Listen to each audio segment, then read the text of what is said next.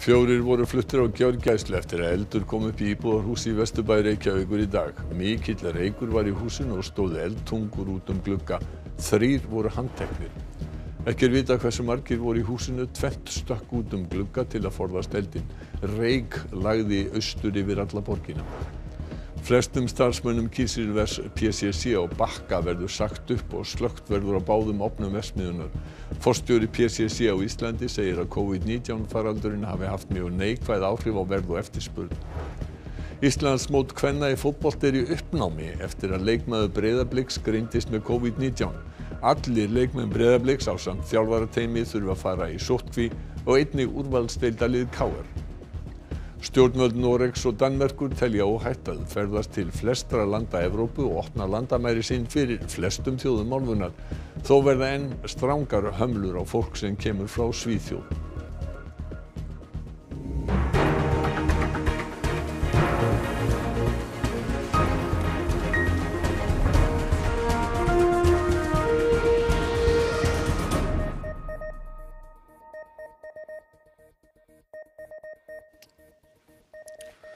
Gott kvöld.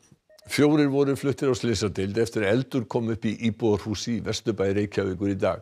Mikill reykur var í húsinu og þurftu íbúar að kasta sér út um glugga á efri hæðum húsins til þess að forðast eldinn. Þórhildur Þorkelsdóttir er á staðnum. Þórhildur, hvernig ganga slökkulistörf? Já, slökkulistörf er ennþá í fullum gangi og það er ennþá mikill viðbúnaðar hérna á hotni Bræðraborgarstíks og Vesturgötu og slökkulið hefur svo sannlega staðið í ströngu síðustu klukkustundir. En hjá mér er Ásgeir Þór Ásgeirsson, yfirlauruglu þjótt. Við hafið einhverja nánari upplýsingar um hvaða voru margir í húsinu? Þessu kannski vitum við ekki alveg hvað voru margir í húsinu öllu þegar eldurinn kemur upp. En, en aðal vandaválið sem hefur verið hjá okkur í dag er efsta hæð húsins. Þar er bestu upplýsingar sem við höfum er að þar hafi búið sex einstaklingar. Fjö, fjögur þeirra voru flutt með sjúkrabílum á Slísadeild fljótlega eftir að viðbæðarsalega kom á vettvang. En hinn er tveir í raun og veru gætu verið hvar sem er í, í veröldinu eins og staðan er núna. Er eitthvað að vita um ástand fólksins sem var farið með á gjörgjuslu? Ég geti miður ekki gefið þær upplýsingar á, á þessu, þessum, þessum tíma en bara því að rannsóknar þeirra bara er að hefjast og, og það er ekki búið að tala við neitt af þessu fólki.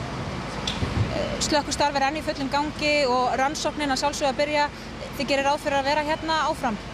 Já, við verðum hérna þetta fram á kvöld og síðan verður vakt með húsinu uh, til morguns því að vettálsalsal getur náttúrulega ekki hafist fyrir en að, fyrir en að já, það hefur stökkustarfi er að fullu lokið og húsið er bara tækt til rannsóknar. En, en það má geta þess að lauruglan á höfbúrúsöndum handtók þrjá einstaklinga á og, og, og við, við vettvang og á vettvangi í uppaf þessar máls og þau sæta nú, við hefum eftir að skoða hvaða tengst þau hafa við vettvangin og, og þar fram eftir göttunum. Er einhver grunur um íkveikju? Við vitum ekkert um það á þessar stundu. Tæktidelt lauruglunar mun hefja störf hérna í fyrramáli, hafa reynda verið hérna í dag bara við að, í ljósmyndum og við að sem sönnagögnum þeir geta núna en svo taka þeir við vettognum í fyrramáli og reyna að finna út hvað áttu sér stað. Þetta fólk sem að þið handtókuð er búið að yfirherra þau? Nei, það er ekki búið að yfirherra þau. Það er bara, við erum bara ennþá bara rétt að, að feta okkur á staðin í rannsókninu. Kæra þakkir fyrir þetta Ásgeir og þó við höfum fengið nýjustu upplýsingar hér þá sjálfsögur erum við búin að fylgjast með atbyrjarásinni í dag og við skulum skoða hana. Allt tiltækt slökkulið var kallað út þegar tilkynning barstu mikinn bruna í húsi á horni Bræðraborgarstíks og Vesturgötu upp úr klukkan þrjú í dag. Fljótlega varð húsið alelda og voru slökkulismenn og reykkafarar á frívakt kallaðir út. Lögregla og sjúkraflutningafólk kom á staðinn og sérsveit ríkislauruglustjóra var kölluð til. Það er búið að þurfa að bjarga fólki hérna út um glugga með stigum og, og uh, öðru á annan máta sem er komist út sjálfur og uh, búið að flytja fjóra á sjúkarhás, veit ekki um stöðun á þeim. En þannig að þetta er húsið eiginlega milli gólf og annað farið að gefa sér stígin upp í risinni farið. Þannig að þetta er svona svolítið mikill brunni má segja. Sjónarvottar segja að tveir hafi stokkið út úr brennandi húsinu, niður í ruslagám. Það hafi enginn gett að gefa okkur upplýsingar um hversi margir eiga heim í húsinu og hversi margir voru akkurat heima. getur náttúrulega einhver hafi verið í vinnu. Þannig að eh, við erum náttúrulega bara leið og við erum að klíma við þetta að leita öll rými. Við erum búin að vera með mikið reikurum inni allan tíman og erum náttúrulega að skipta út og staðan er svo að nokkur af mínum starfsmennir er búin að fara tvís og þrís inn og tæma á kútana, þá þurfum við bara hreinlega að kvíla á. Ágætlega hefur gengið að ráða niðurlögum eldsins en aðstæðar og vettvangi eru stremnar. Við höfum stjórn á því þannig að þetta mun ekki breyða sig í næstu hús en það er tölur að vinna eftir að því að það er mjög erfitt og hættulegt að senda fólk inn í húsið. Sjáum við kannski mynd bakum með, með fróðu utanfrá úr körfubílum og jæfnvel með að skjóta í gluggana. Þannig að við reynum svona að senda inn það sem hægt er að gera en ógnum ekki raun og öryggi okkar starfsmanna með því. Já og hjá mér er aftur Jón Viðar slökkulustjóri. Jón Viðar, hvað getur þú sagt mér um störf ykkar akkurat núna? Akkurat núna erum við að færa bíla lengra frá húsinu því að bæði þak og gapp á húsinu eða kvistur er farin að hrinja niður. Þannig við erum að forða tækjónu frá. Er mikil hætta á ferðum? Í raun og veru ekki fyrir nælíkjandi hús, alls ekki, en við þurfum að breyta öðrum tak, annari taktík núna þurfum eiginlega að fá bara okkur uh, svona krabba sem að getur tekið bút og bút úr þakkinu við getum ekki sendt mennina upp því að uh, bæði milligólf og stígar og annað er bara mjög veikburða og mikið af þessu bara hrunið. Aðstæður eru mjög erfiðar fyrir slökkulismenn. Aðstæður eru erfiðar fyrir slökkulisfólk. Já, mjög erfiðar og, og flóknar og, og þröngt að koma sér að. Er húsi ekki rónitt? algjörlega og uh, það er og bara núna er að vera að slökka í því sem eftir er þannig að uh, já, klára verkefnið í raun. En hefur ykkur tekist að kanna öll rými í húsinu? Uh, við höfum tekist svona að kanna með góðri vissu fyrsta og aðra hæð og hluta af þriðju hæð. Þannig að það er ennþá e- einhver hluti á kannaður? Það er ekki eftir að útlöka neitt. En slökkustarfi verður vantilega haldið áfram hérna jafnveg langt fram á nótt? Já, það verður allavega einhvað fram á kvöldi og fram í nóttina og síðan verður vakt við húsið þannig að þetta er eh, tölur að vinna eftir. Kæra þakkir fyrir þetta Jón Vegar, gangi ykkur vel í eitthvað störfum og við segjum þessu lokið hérðan af Vörstugötu. Já, takk fyrir það Þórildur.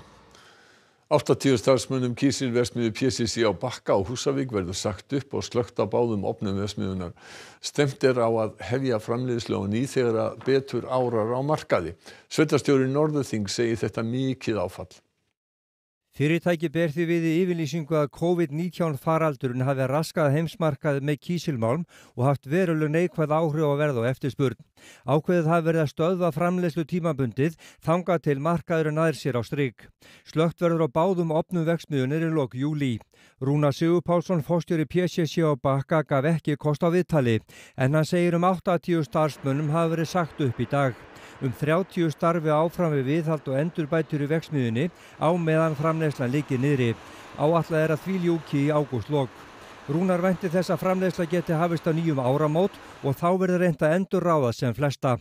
Þetta er auðvitað þungt högg fyrir semfélagið hér á þessu svæði og sveitafélagið allt eh, að heyra þessum, þessum fréttum og svona fyrstu viðbröður þetta þau að maður eh, hugsa til þeirra starfsmanna og fjölskylda þeirra sem er að missa vinnuna núna eh, og hér er auðvitað um að ræða fyrirtæki sem er eitt af, af eh, svona máttarstólpum í atvinnulífunni hér á okkar svæði.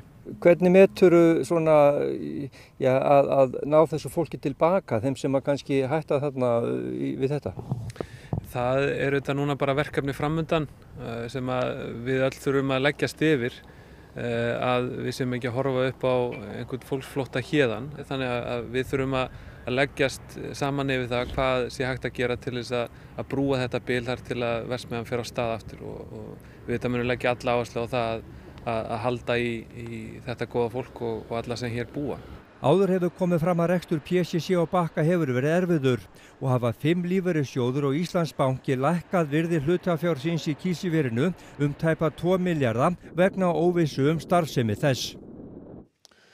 Leikmaður Breiðabliks í úrvalsdeild kvenna í fótbolta er með COVID-19 smitt. Í fréttatilkynningu frá samhæfingarstöð Almannavarna segir að leikmaðurinn hafi komið hingan til hans 17. júni og farið í sínatöku og sínið reynst neikvætt. Vegna þess að leikmaðurinn hafi verið í nánd við smittan einstakling ellendis hafi hún aftur farið í sínatöku og þá reynst smittuð. Allir leikmenn Breiðabliks og þjálfarateimi liðsins þurfa að fara í sóttkví og einnig úrvalsdeildarlið KR sem spilaði nýlega við Blika.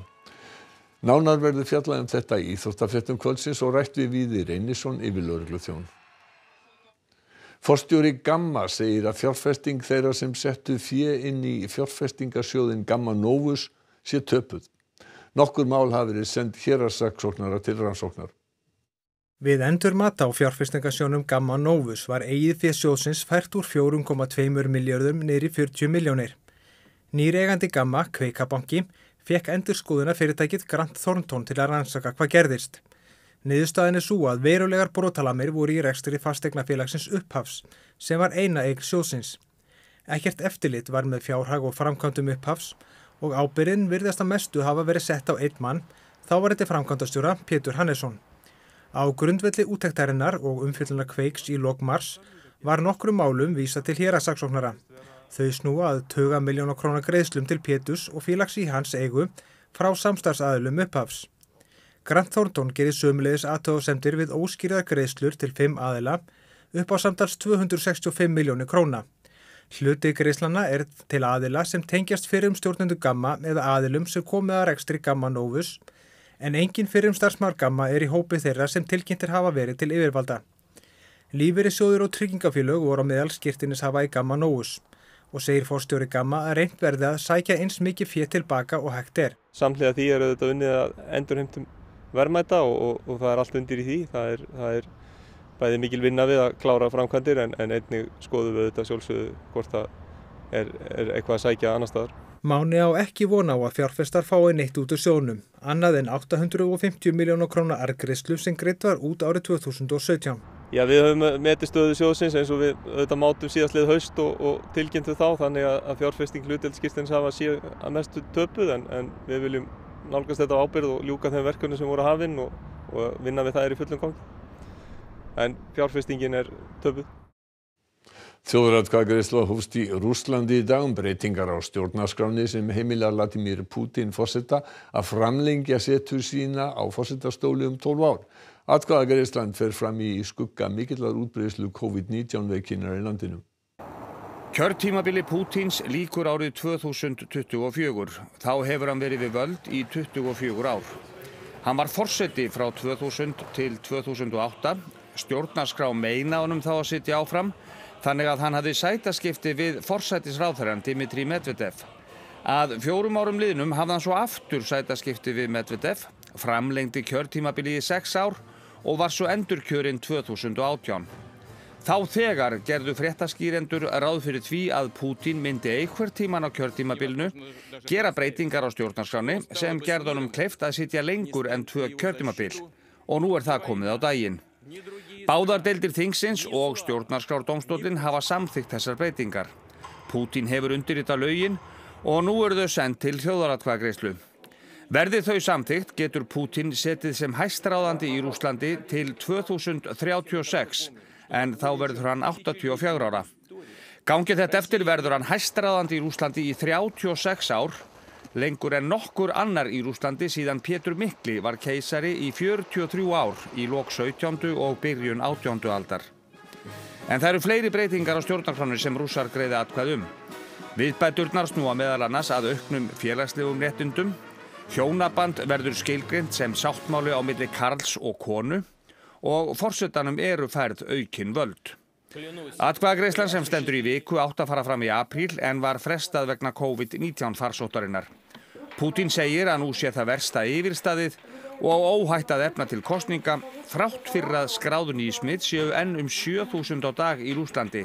En hverki í heiminum greinast eins margir daglega um þessar mundir. Kjósendur sem mætt á kjörstað í dag þurftu eðlilega að bera grímu og hanska.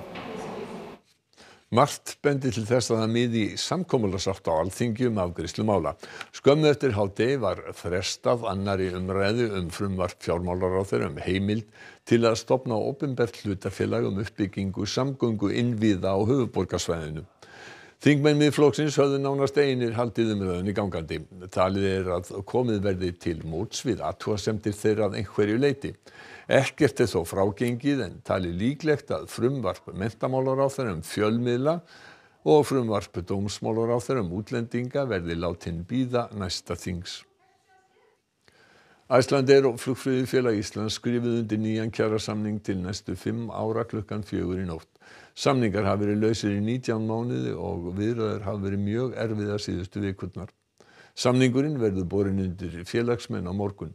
Formaður Flugfröðufélags Íslands segir að kröfum hafi verið mætt sem hefði ekki farið í gegn nema í árferði sem þessu. Í yfirlýsingu frá Æslandir segir að samningurinn sé í samræmi með markmiðum að auka vinnuframlag og sveigjanleika fyrir félagið. Jafnframt hafi ráðstöfunartekjur flugfreyja og flugþjóna verið tryggðar. Við göngum sátt af frá borði. Uh, það má uh, segja að við erum að mæta kröfum félagsins. Uh, það sem hagraðing er þar aðalatri. Hins vegar eru við stolt af þeim varnasegri sem við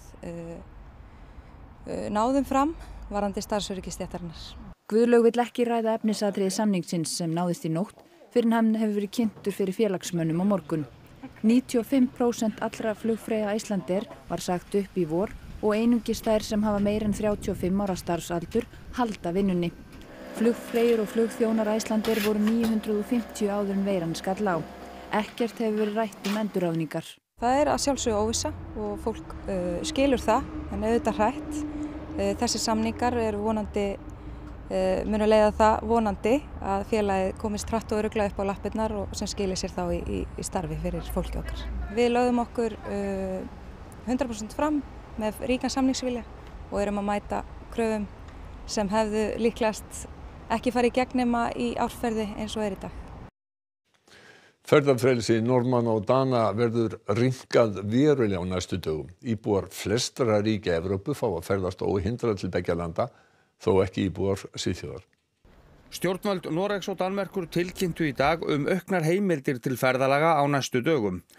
Danir opna upp á gátt fyrir íbúa 25 ríkja Evrópusambandsins og Evrópska efnahagsvæðisins og telja dönum óhætt að ferðast til þessara landa.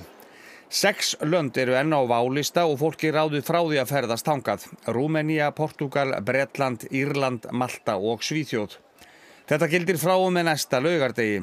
Danir telja óhætt að ferðast til landa ef fjöldi smittara er undir 20 á hverja 100.000 íbúa.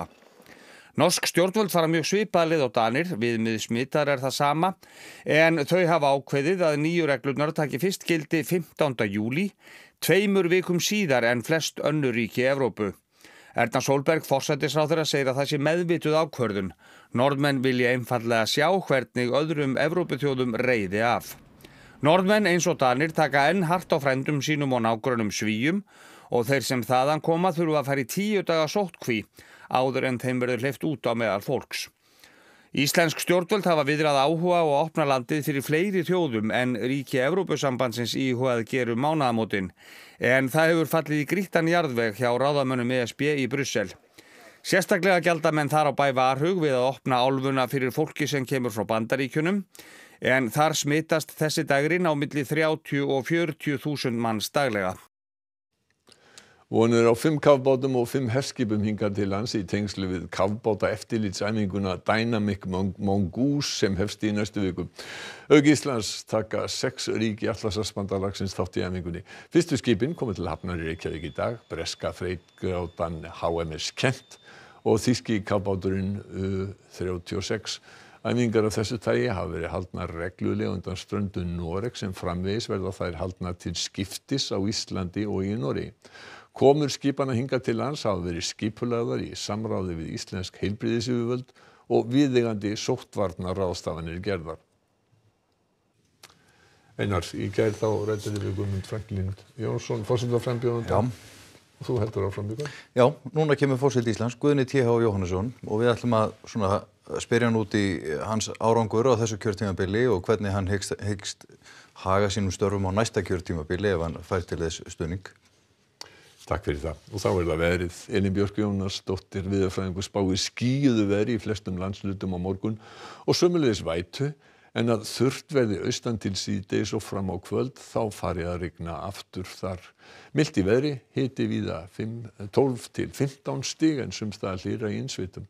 Elin Björk flyttur spá sínaða loknum íþróttum sem Kristjana Arnarsdóttir sérum í kvöld. Leikmaður Breiðabliks í úrvalstild kvenna í fótbolta er smitaður af COVID-19. Fjöldi manns þar nú að fara í tveggja vikna sótkví og óljóst er með næstu leiki í deildinni. Tveimur leikjum er lokið í ennsku úrvalstildin í fótbolta í dag. Liverpool getur fagnað englandsmeistaratillinum í kvöld, tapir Manchester City gegn Chelsea. Og Ástralja og Nýja Sjáland munu halda HM kvenna í fótbolta árið 2023. Helstu aðtriði í frettónum í kvöld. Fjóri voru fluttir á gjörgæslu eftir að eldur kom upp í íbúðarhúsi í Vesturbæri Reykjavíkur í dag. Mikill reykur var í húsinu og stóð eldtungur út um glugga. Þrýr voru handteknir. Ekki er vita hversu margir voru í húsinu. Tvent stökk út um glugga til að forðast eldinn. Reiklagði yfir austur borgina. Flestum starfsmönnum Kísilvers PCC á Bakka verður sagt upp og slögt verður á báðum opnum versmiðunar.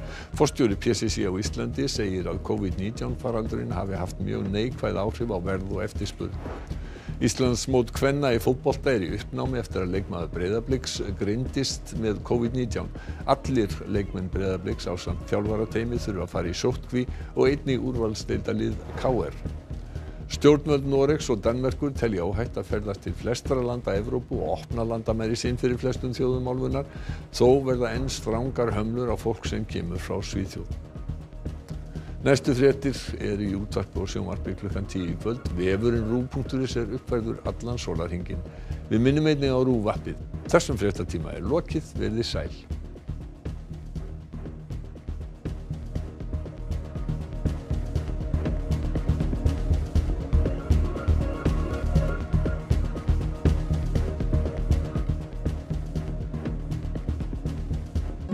Sumarlandin verður á flakkinu í sumar og hittir landan fyrir á tjaldsvæðinu, upp á fjalli og allstaðar annar staðar. Við konnum hvað fólk er að bauka í bakgarðinum sínum, leitum upp í áhugaverða viðburði og segjum skemmtilegar sögur. Þetta verður sumari sem allir ætla að njóta meira en nokkurs annars sumars í Íslandsögunni og sumarlandin ætlar sjálfsögðu að vera með í gleðinni. KK verður með í för og spilar sérvalin sumarlög eins og honum einum er lægi. Þetta lag þar um þig þú skildi vera að hlusta á mig. Sumarlandin, sunnudag kl. 19.40 á Rúf. Það eru bláu augun þín sem kvísla blitti mín, ég elska þig. Á Rúf í kvöld. Fórsetakostningar viðtal við frambjóðanda. Það er komið að Guðuna T.H. Jóhannesinni. Menningin fjallað er á snarpan og líflegan hátt um það sem efstir á baui hverju sinni í menningar og listalífinu. Sumarlandin verður á flakki í sumar